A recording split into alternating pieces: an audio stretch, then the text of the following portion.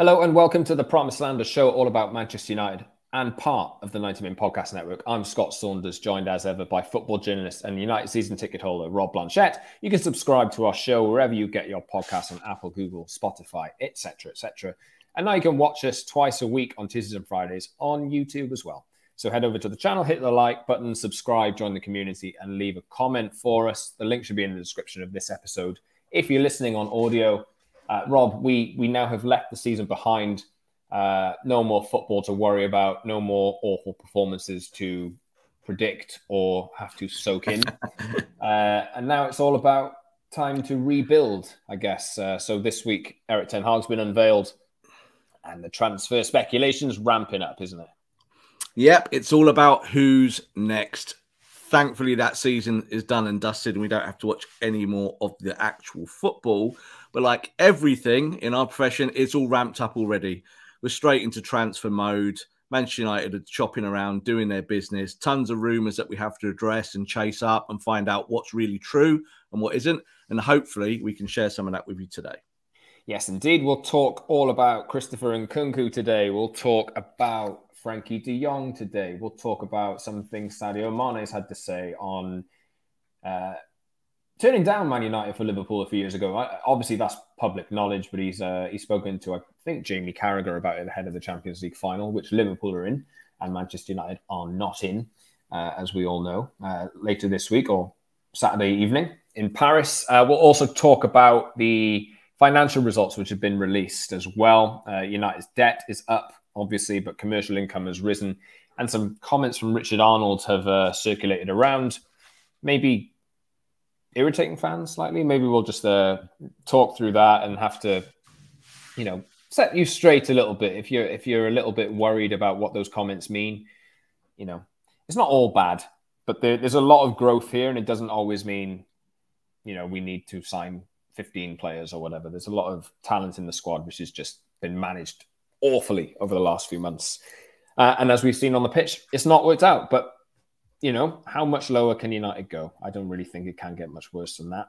And it might be time to start looking up again. Uh, today, you can listen to us for about 45 minutes. We'll see how long we go. But a reminder, you can follow us on Twitter too, at underscore Scott Saunders, at underscore Rob underscore B, and at Promise and MU for the show as well. Give us a follow.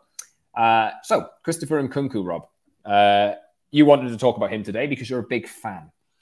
Uh, what is the statistics? 35 goals and 15 assists plays for RB Leipzig, uh, 70 to 80 million euros to get him out. And while it's been suggested that Leipzig do not want to sell, they've qualified for the Champions League as well. The speculation with United persists, doesn't it? Yeah, absolutely. This was one of uh, Ralf's wish list players going back to when he first came to the football club. Now, obviously, there was no business going to be done at that time. Manchester United were not going to sanction anything for him, but he was one of those players that when United was talking about strikers or forwards, he was on that list. Now, it seems that Ten Hag as well is a big fan of the player, and United have got this pool now of forwards that they're looking at and Nkunku definitely is one of those players. Uh, yes, I'm a big fan of his. Uh, I think sometimes you can look at German uh, forwards. Obviously, he's not German, but plays in the Bundesliga and players that have had success there. Doesn't always translate straight away to the Premier League, does it? I'm thinking kind of Timo Werner type player. Jadon Sancho. Jadon Sancho. But of course, again, we, we sit here and we have faith in Jadon, don't we? We do believe that in time he will be a, a worthy signing for Manchester United. But I think the same issue we say with Werner and so we look at Nkunku is that is a totally different player, you know, and he's better. You know, he scores goals, he gets assists. Um, he's got just so much more to his game than say Timo Werner. Um, but he's totally the type of forward I think Manchester United should be shopping for. And I think that's what's really important. Lots of obviously links with Darwin Nunez. That seems to have gone a little bit cold, but I'm sure that will pop back up in the very near future. But I think Nkunku is, is in terms of being Premier League ready and his style of game, I think he could be an incredible, dangerous weapon for Manchester United. Yeah, Rob, talk me through what uh, he's like as a player nowadays. He's 24. Uh, I think he came through PSG's academy and didn't Did. really make the grade, uh, and has found himself at Leipzig hmm. since 2019. Actually, he has a 31 goals in 94 appearances, but he's he, obviously for a prolific centre forward, you know, that's not a great record nowadays, but he isn't that exact type of player, is he? So he, he can play right, he can play left, he can play through the middle. Uh, what what kind of player would United be getting if they were to pull this off? Well, when I was speaking about him on Twitter just yesterday, when we were talking through the rumours and what was going on with the player, I, I made a comparison that he's very much a hybrid between Sadio Mane and Mohamed Salah. Now, that's that's a big comparison in terms of player type, but that's the kind of player he is in terms of systematic. What can he do for you? He can play left, he can play right, he can play through the center, and his work in the channels is almost perfect. Brilliant timing, quick off the mark, makes really good decisions, can link up play, can score goals, can do it all. And I think they're like you, you highlighted there his time at PSG and uh, moving to Leipzig. He's the perfect Red Bull player. So this is why Ralf has spoken about him and has recommended him to Manchester United over a period of time. Is because they took a player who wasn't really fancied, they put him through his marks, and they've come out the other side with a talent who's pushing 70, 80 million in terms of his value. And one of the things I said yesterday as well is that Man United needs to go and get this player before Liverpool do. Because you can see this, I can smell it already. If if, if Salah or Mane leave uh, Liverpool, and there's a chance one of them might in the next few weeks, we just don't know yet. Certainly, Mane being that player at the moment, but Salah's going to be out of contract in a year. This is the player they will go and get. I'm sure of it because he just fits that 4 3 3 system so well. He can do all of those things a modern forward like like Luis Diaz. Do you know what I mean? Can play on the left, but can come inside, can do all that work for you. Um, and United need to progress like this, Scott. They need to go and find signings that are not necessarily at the very, very top echelon. It's not, it's not Haaland, is it? But it's someone who's proved over a period of time that he can do it and that he can execute. Yeah, he was uh, named in May, well, that's literally this month, uh, the 2021 22 Bundesliga player of the season after his. Uh, his goal scoring form in the Bundesliga. And mm. yeah, I mean, you, you, do see a lot of players linked with United, but it, it does seem to be the same names. It's like a, a, core of names at the moment, isn't it, Rob? Like, I know that United are looking for four positions, midfielders, you know, a flexible forward, a versatile forward, is, and, and Nkunku certainly fits this mold. Uh, centre halves, maybe two midfielders, and possibly a right back as well. Uh, Nordi Mukiele, who's a teammate of uh, Nkunku's at Leipzig, has also been linked uh, in French press today, but we at 90 Min reported some interest from Ralf Rangnick and, and United even as far back as December, and he's gone quite cheap, 10 million euros or something like that, a contract in 2023. So, you know, the, the same names seem to be cropping up, Rob. Do you think it's a case of just United have identified like a pool of targets and, you know, it'll be which one is most gettable to bring in? absolutely this is what they're doing now so this is the, the the kind of the search and destroy method of manchester united go through the market find out who fits their narrative and who their profile of player what are they looking for talk to those agents see who's interested and see who bites so I, I think the thing is that will be different this year, and this is just a prediction, is that I don't think Manchester United will be as outward in the press and the way that they leak their information as maybe they were in previous incarnations. So closing down the Ed Woodward era of transfer business, where there was just lots of yapping, lots of talk, and lots of leaks from all the for the social media engagement, Rob, isn't it? This is the thing with Manchester United, and we always try in our jobs to take it with a pinch of salt because we do sometimes know that Man United and their contacts are playing games, and we don't really want to play games. We want to report stuff that's as close to factual as possible. You know, like some of it will be rumors and gossip, but we're trying to link it together with people who actually know what they're talking about. So I think when you look at Nkunku and players around that ilk, so we've talked about Darwin Nunez, We'll talk a little bit more about Frenkie de Jong.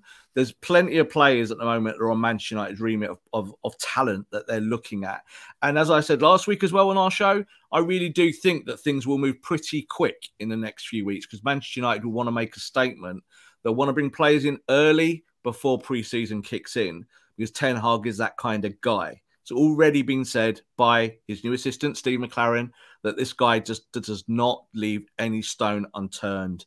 He's so thorough in his preparation. He wants to get it right early so he can get on with his actual job.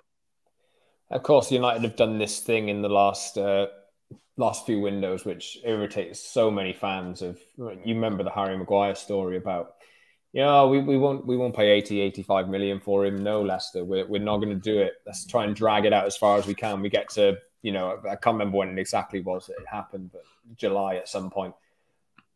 Absolutely got nothing off the fee. Ended up paying 80 million nope. euro, 80 million pounds, and we all know where we are with Harry Maguire nowadays. But something has to change, doesn't it? And it's it's a are you slightly encouraged that the people who were doing that, pulling those, trying to pull those deals off, Matt Judge, you know, I, we really don't know how heavily involved Ed Woodward was during those times and how much he had to play during that, but he oversaw it all. You know, uh, it, do you have confidence that this new team can start to actually act quickly and to, you know, walk away from a transfer if it's not right for them price wise?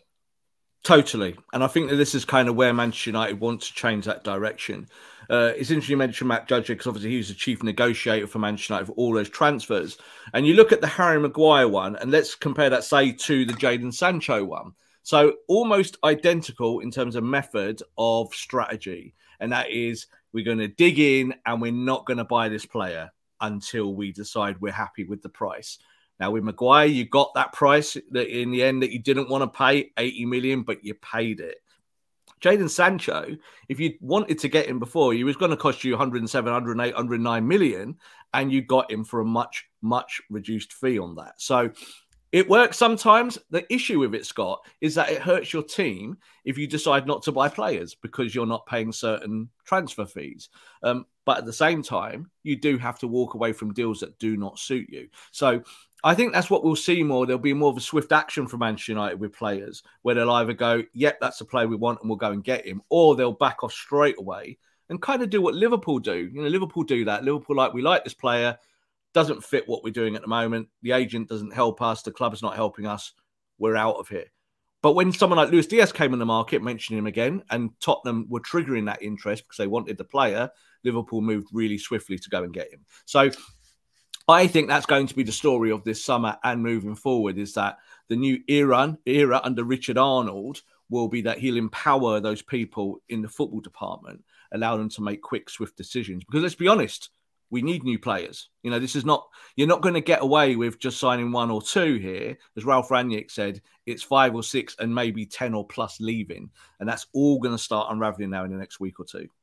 Yeah, I think Rob, you mentioned there about uh, we were talking about walking away from deals, obviously, and I think mm-hmm. just to transition into more Frenkie De Jong chat. Uh, obviously, we spoke about him in previous weeks. The interest is there from United. I don't think that's that's not in doubt. Erik Ten Hag wants him, uh, and not all is right at Barcelona at the moment. He hasn't exactly torn up trees there. He's not an automatic pick. He's got Gavi and Pedri and Sergio Busquets, Franck Kessie's joining Barcelona as well on a free transfer this summer. So he's not. He is one of Barcelona's uh, most valuable assets that they, that they could, uh, you know, help relent their financial situation with. But they haven't made decisions yet. Xavi's spoken about him this week, but has essentially trod the same line that he's been saying for a number of weeks that Barcelona would like to keep him, but maybe they will have to sell dependent on the economic situation. Uh, and there's even uh, the United side of things, they're not putting this one down, but it's not no secret really that it's going to be a difficult move to complete for United. So, uh, just some updates here. He would need convincing to join United because they're not in the Champions League, obviously. Um, but a rule, a move hasn't been completely ruled out. Manchester City have distanced themselves from the player as well, and they look like they're looking at Kalvin Phillips for a potential Fernandinho replacement.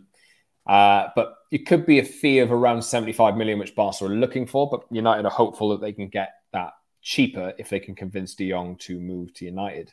Uh, how long can they leave this? How, how long can they play this game? And how much should they be paying for him?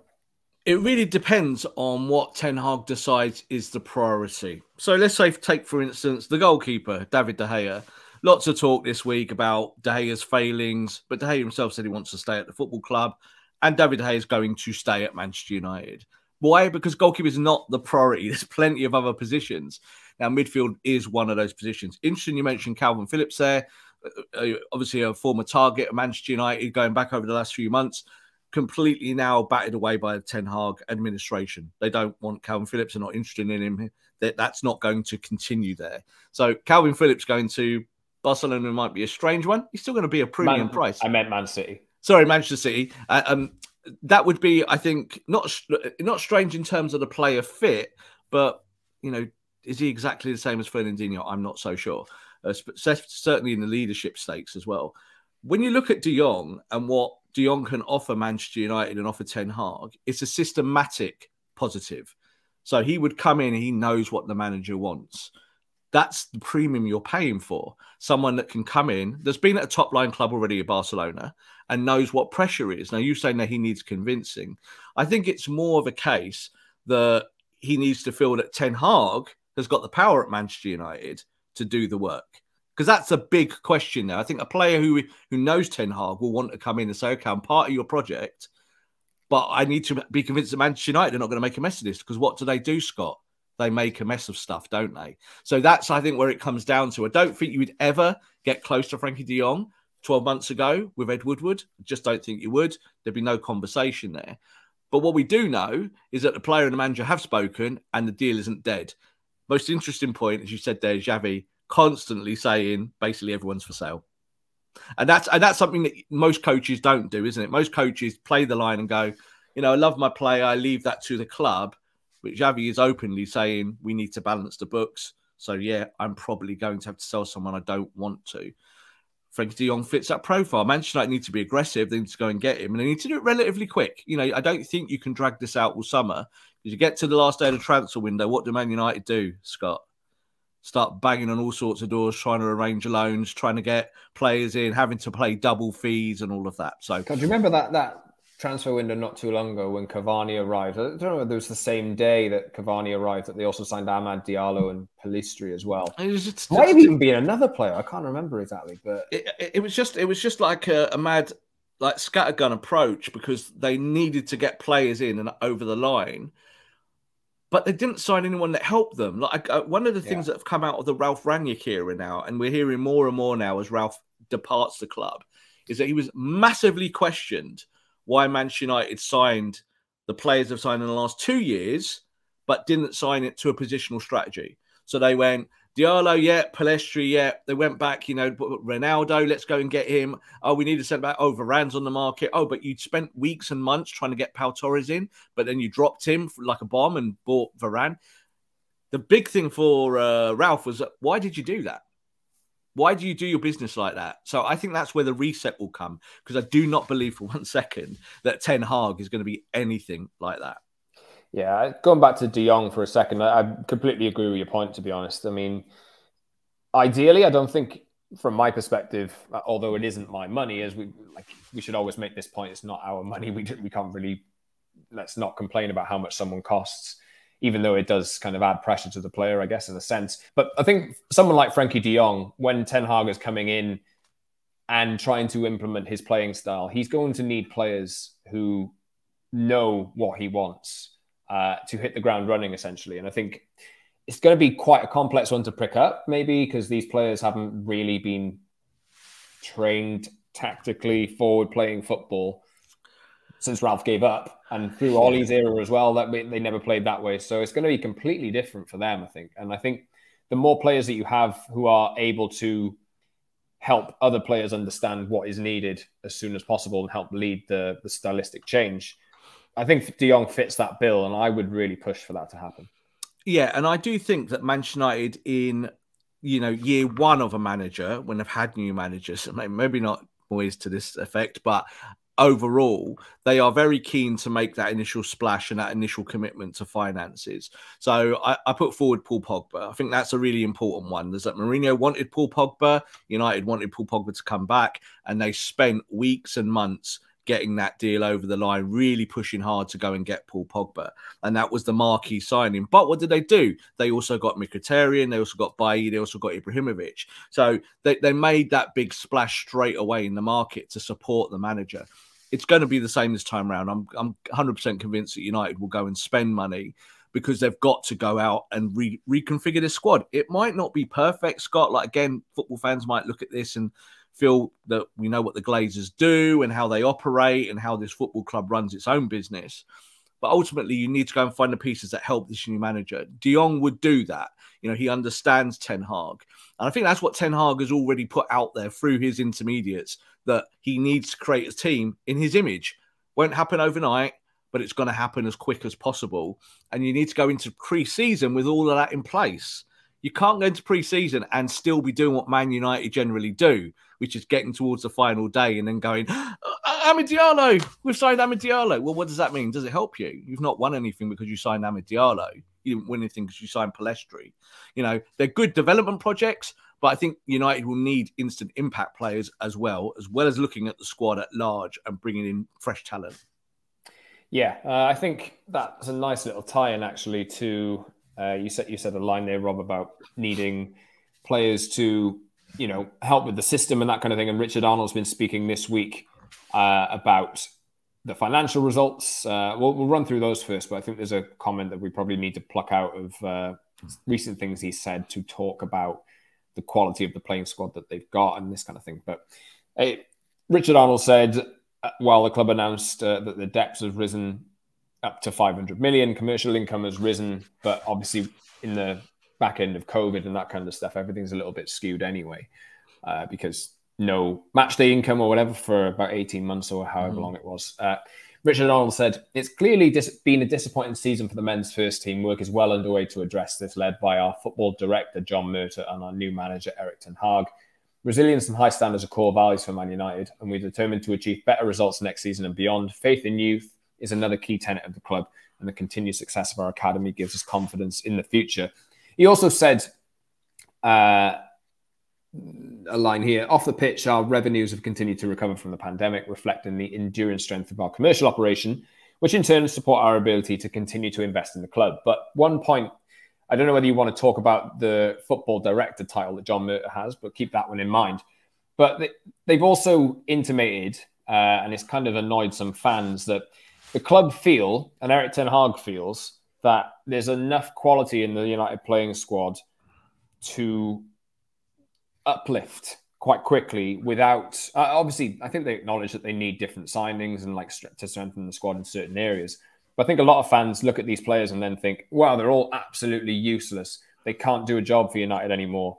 And while we've been critical of the players themselves this season, and it has been mostly on them, you got to look at the conditions that they've had at the club and how difficult it must kind of be for them as well.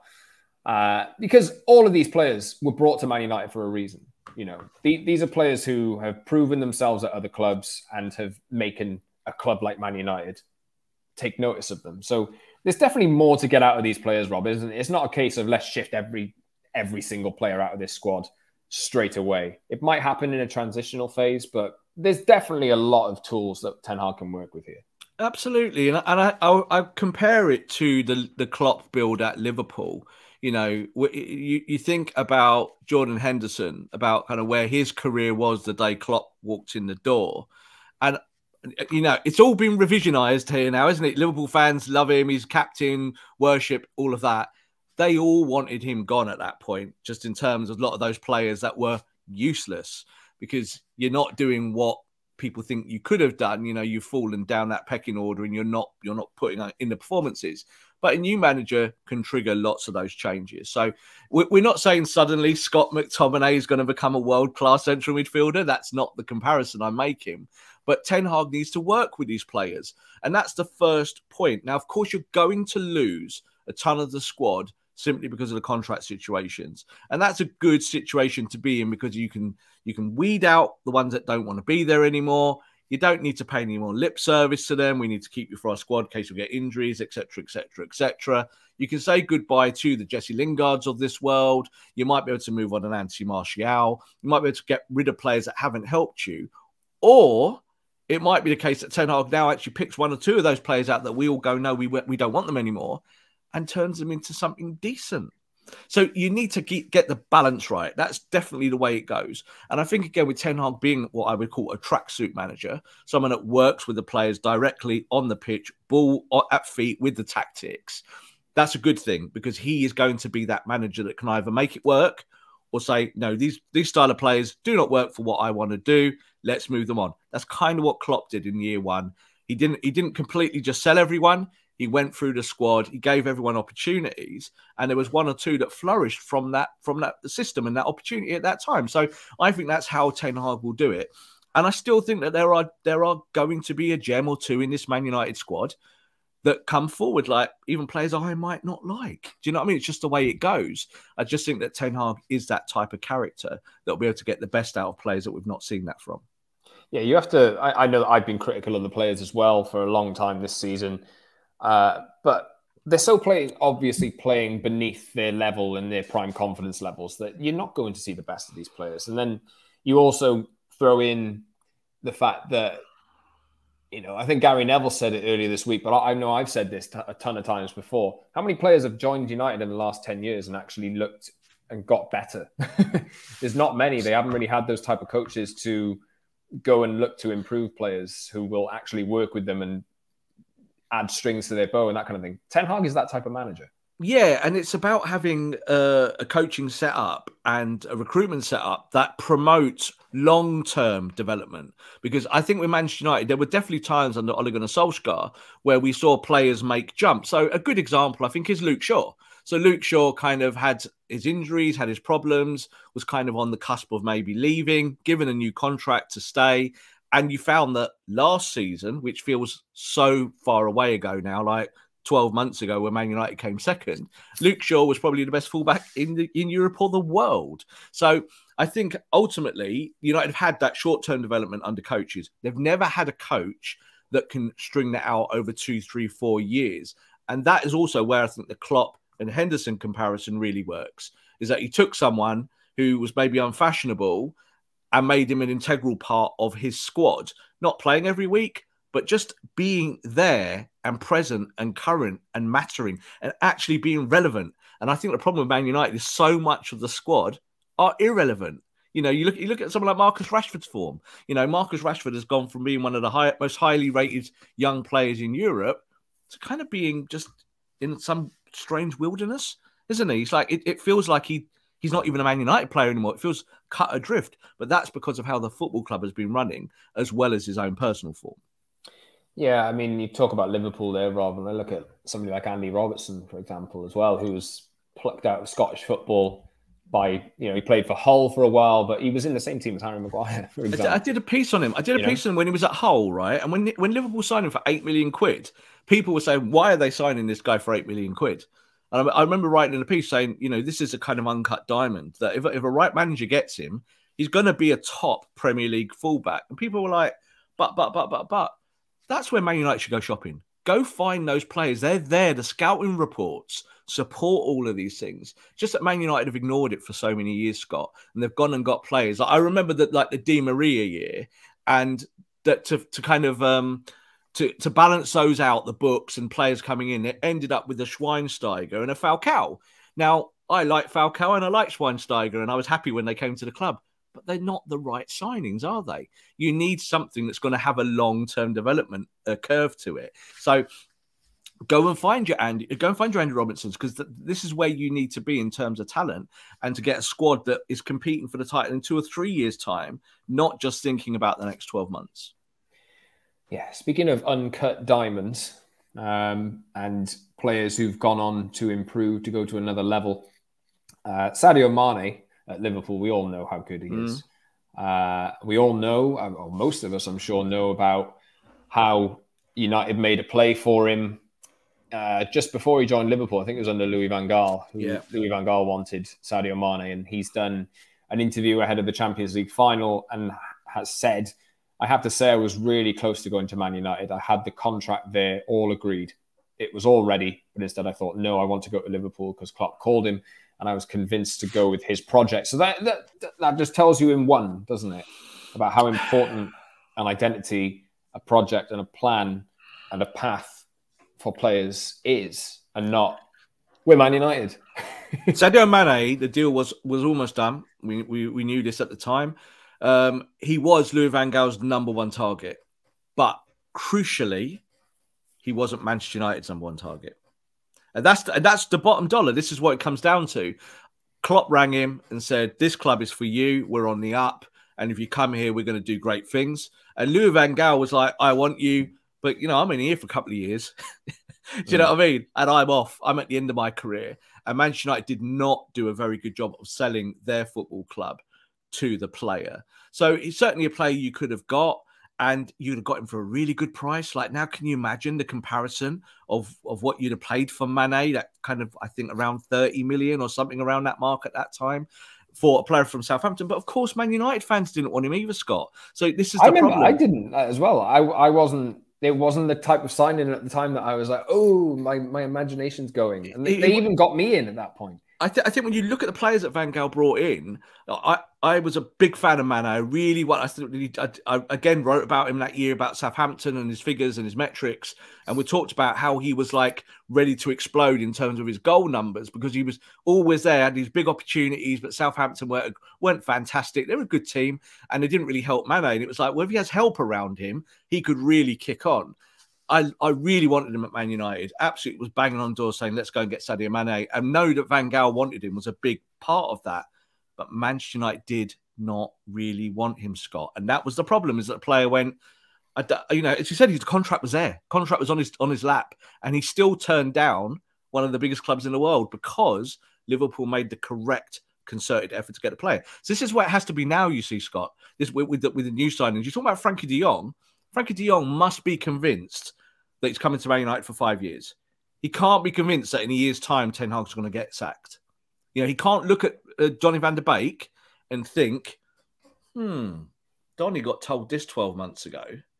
Am I going to get hoodwinked here? So all of these things matter, don't they? So I think it's interesting that Mane's spoken about that again and been really honest.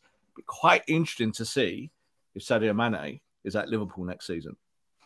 Yeah, he's uh, out of contract in a year, as is Mo Salah, and has spoken a few times this week, actually, ahead of the Champions League final, suggesting, eh, I don't know, we'll see what happens. Bayern Munich are certainly interested yeah. in him.